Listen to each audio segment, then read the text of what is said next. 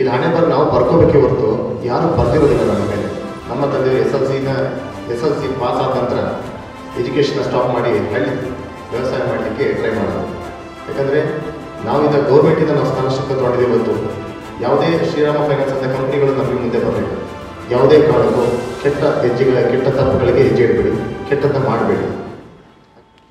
ಇಲ್ಲಿವರೆಗೂ ನಾವು ಸಹ ಹೇಳೋದಕ್ಕೆ ಒಂದು ಕಾಮನ್ ಒಂದು ಬಿ ಎ ಡಿಗ್ರಿನ ಪಡ್ಕೊಂಡು ಹಿಂದೆ ನಾವು ಏನು ವ್ಯವಸಾಯ ಮಾಡಿದ್ವಾ ಅಥವಾ ಇನ್ನೊಂದು ಮಾಡಿದ್ವಾ, ಕೂಲಿ ಮಾಡಿದ್ವಾ ಬೇಡ ಬಟ್ ನಮಗಿರ್ತಕ್ಕಂಥ ಅವಕಾಶನ ಮಾತ್ರ ನಾವು ಸದುಪಯೋಗ ಪಡಿಸ್ಕೊಂಡು ಯಾವುದೇ ಅಡ್ಡದಾರಿ ಹಿಡಿದಂಗೆ ನಮಗಿರ್ತಕ್ಕಂಥ ಭಾಳ ಸಮಯ, ಸಮಯಾವಕಾಶವನ್ನು ಉಪಯೋಗ ಪಡ್ಕೊಂಡು ಬಂದಂಥ ಅವಕಾಶನ ಭಾಳ ನೀಟಾಗಿ ಉಪಯೋಗ ಮಾಡಿಕೊಂಡು ಒಂದು ಪದವಿ ಅಂತ ತಗೊಂಡು ಒಂದು ಒಂದು ಅಧಿಕಾರನ ಸ್ವೀಕರಿಸೋ, ಸರ್ಕಾರದಿಂದ ಇವತ್ತು ಒಂದು ಅಧಿಕಾರನ ಪಡ್ಕೊಂಡಿದ್ದೀವಿ.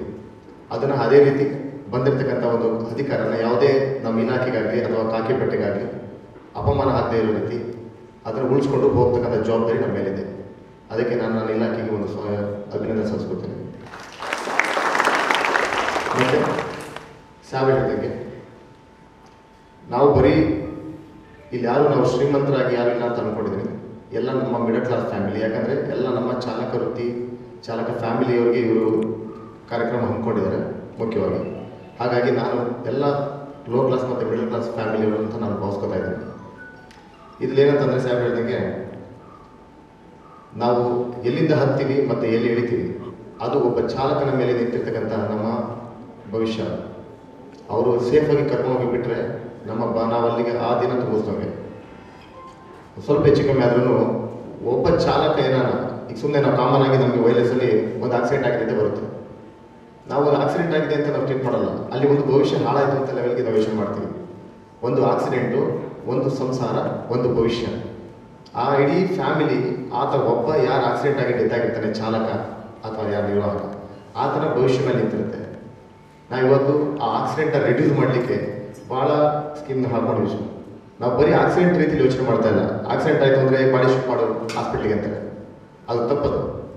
ಒಬ್ಬ ವ್ಯಕ್ತಿ ಸತ್ತರೆ, ಅವನ ಹಿಂದೆ ಎಷ್ಟು ಜನ ಇರ್ತಾರೆ, ಅವನಲ್ಲಿ ಎಷ್ಟು ಜನ ಆಧಾರವಾಗಿ ಮಾಡ್ಕೊಂಡಿದ್ದಾರೆ.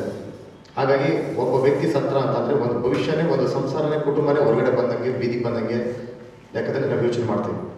ಹಾಗಾಗಿ ಒಬ್ಬ ಏನು ಡ್ರೈವರ್ ಆಗಲಿ ಅಥವಾ ಡ್ರೈವರ್ ಫ್ಯಾಮಿಲಿ ಆಗಲಿ, ಆತ ಸೇಫಾಗಿ ಕರ್ಕೊಂಡು ಹೋದರೆ ನಾವು ಆ ಒಂದು ದಡನ ತಲುಪ್ತೀವಿ. ಹಾಗಾಗಿ ಯಾವುದೇ ಕಾರಣಕ್ಕೂ ಇಲ್ಲಿ ಏನು ಡ್ರೈವರ್ಸ್ ಮಕ್ಕಳು ಸೇರಿದ್ರಿ, ಯಾವುದೇ ಕಾರಣಕ್ಕೂ ನಾವು ಕೀಳು ಅಥವಾ ನಾವು ಲೋ ಲೆವೆಲ್ ಅನ್ನೋದು ಇವಾಗ ದಯವಿಟ್ಟು ನಮ್ಮ ತಮ್ಮ ಮನಸ್ಸಲ್ಲಿ ಬರಬಾರ್ದು. ಇಲ್ಲಿ ಯಾರು ಕೀಳಲ್ಲ, ಯಾರು ಮೇಲಲ್ಲ. ಎಲ್ಲರಿಗೂ ನಮ್ಮ ಸಂವಿಧಾನದಲ್ಲಿ ಅನುಚ ಅನುಚ್ಛೇದದಲ್ಲಿ ಏನು ಕೊಟ್ಟಿದ್ದೀವಿ? ಎಲ್ಲರೂ ಅದನ್ನು ಸದುಪಯೋಗ ಪಡ್ಕೋಬೇಕು ಅಂತ ಯಾಕಂದರೆ ಎಲ್ಲ ನಾವು ಕೆಲವ್ರು ಏನು ಮಾಡ್ತೀವಿ? ಹಣೆ ಬರದ ಮೇಲೆ ಹಾಕ್ತೀವಿ. ಇಲ್ಲಿ ಹಣೆ ಬರ ನಾವು ಬರ್ಕೋಬೇಕೇ ಹೊರತು ಯಾರು ಬರ್ದಿರೋದಿಲ್ಲ ನಮ್ಮ ಮೇಲೆ. ಹಣೆ ಬರ ನಾವು ಹೆಂಗೆ ನಾವು ಬರ್ಕೋತೀವೋ ಅದ್ರ ಮೇಲೆ ನಮ್ಮ ಭವಿಷ್ಯ ನಿರ್ಧಾರ ಆಗ್ತದೆ. ಹಂಗಾಗಿ ಕೆಲವರು ಇನ್ಕ್ಲೂಡಿಂಗ್ ನಾವುಗಳು ಏನು ಮನೆ ಬರ ಸರಿ ಇಲ್ಲ ನಮ್ಮ ಟೈಮ್ ಸರಿ ಇಲ್ಲ ಅಂತ ಹೇಳಿ ಅದ್ರ ಮೇಲೆ ಹಾಕಿ ನಮ್ಮನ್ನು ಸುಮ್ಮನೆ ಕಾಲಹರಣ ಮಾಡ್ತೀವಿ. ಆ ರೀತಿ ಮಾಡೋಕೆ ಹೋಗ್ಬೇಡಿ. ಇವತ್ತು ನಮ್ಮ ತಂದೆಯವರು ಎಸ್ ಎಲ್ ಸಿನ ಎಸ್ ಎಲ್ ಸಿ ಪಾಸ್ ಆದ ನಂತರ ಎಜುಕೇಷನ್ನ ಸ್ಟಾಪ್ ಮಾಡಿ ಹಳ್ಳಿ ವ್ಯವಸಾಯ ಮಾಡಲಿಕ್ಕೆ ಟ್ರೈ ಮಾಡೋದು ಯಾರೋ ಬುದ್ಧಿವಂತರು, ದೊಡ್ಡವರು ಹೇಳಿ, ಬೇಡ, ಈ ರೀತಿ ಮಾಡ್ತಪ್ಪ ಅಂತಂದರೆ ಕಂಟಿನ್ಯೂ ಮಾಡಿದೆ ಇವತ್ತು ನಮ್ಮದೊಂದು ಭವಿಷ್ಯ ಇವತ್ತು ನಿರ್ಧಾರ ಆಗಿದೆ ಅದೇ ರೀತಿ ತಮ್ಮ ಭವಿಷ್ಯ ಯಾವುದೇ ಕಾರಣಕ್ಕೂ ಒಂದು ಬಡತನಕ್ಕೆ ಬಡತನಕ್ಕೆ ಗುರಿಯಾಗಿ ಅಥವಾ ಒಂದು ಯಾವುದೋ ಒಂದು ಘಟನೆಗಳಿಗೆ ಗುರಿಯಾಗಿ ಎಜುಕೇಷನ್ನ ಸ್ಟಾಪ್ ಮಾಡಿಸ್ಬೇಡಿ. ಯಾಕಂದರೆ ನಾವಿಂದ ಗೌರ್ಮೆಂಟಿಂದ ನಾವು ಸ್ಕಾಲರ್ಶಿಪ್ ತೊಗೊಂಡಿದ್ದೀವಿ ಇವತ್ತು ಯಾವುದೇ ಶ್ರೀರಾಮ ಫೈನಾನ್ಸ್ ಅಂತ ಕಂಪ್ನಿಗಳು ನಮಗೆ ಮುಂದೆ ಬರಲಿಲ್ಲ. ನಮಗೆ ಗೌರ್ಮೆಂಟಿಂದ ಬಂದರೆ ನಾವು ತೊಗೋಬೇಕು. ಎಜುಕೇಷನ್ ಕಂಟಿನ್ಯೂ ಮಾಡಬೇಕು. ಬಟ್ ಇವತ್ತು ಫೈನಾನ್ಸ್ಗಳಂತ ಕಂಪ್ನಿಗಳು ಇವತ್ತು ಅವು ನಿಮ್ಮ ಪರವಾಗಿ ನಿಂತಿದ್ದೀವಿ ಅಂತಂದರೆ ಭಾಳ ಅಪ್ರಿಷಿಯೇಟ್ ಮಾಡಬೇಕು.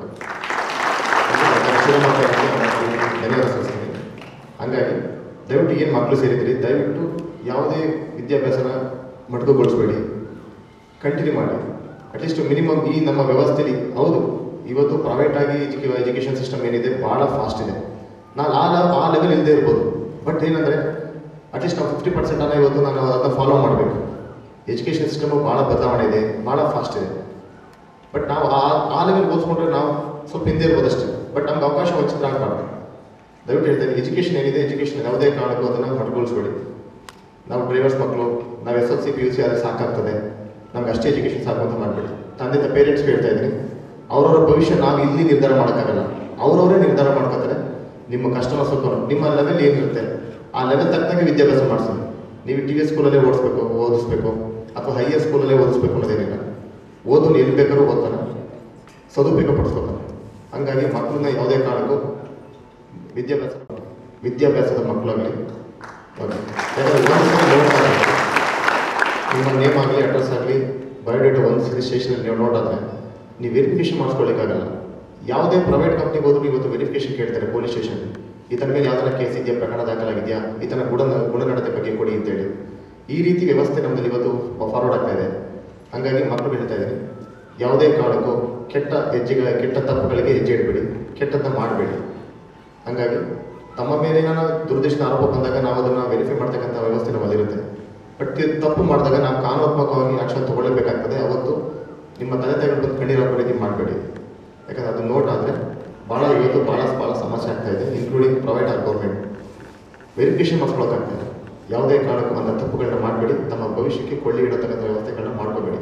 ತಂದೆ ತಾಯಿಗಳು ನಿಮ್ಮ ಮೇಲೆ ಭಾಳ ಅಪನಂಬಿಕೆ ನಂಬಿಕೆ ಇಟ್ಟಿರ್ತಾರೆ. ಅಪನಂಬಿಕೆ ಬರೋ ರೀತಿ ನಡ್ಕೋಬೇಡಿ. ಹಾಗಾಗಿ ಎಲ್ಲ ಇಲ್ಲಿ ಸೇರ್ತಕ್ಕಂಥ ಎಲ್ಲ ಸ್ಟೂಡೆಂಟ್ಸ್ಗಳು ಮತ್ತು ಪೇರೆಂಟ್ಸ್ಗೂ ನನಗೆ ಮಾತಾಡಲಿಕ್ಕೆ ಅವಕಾಶ ಮಾಡಿಕೊಡುವಂಥ ಶ್ರೀರಾಮ ಫೈನಾನ್ಸ್ಗೆ ಧನ್ಯವಾದ ಸಲ್ಲಿಸ್ತಾ ನಾನು ಮಾತಾಡ್ತೀನಿ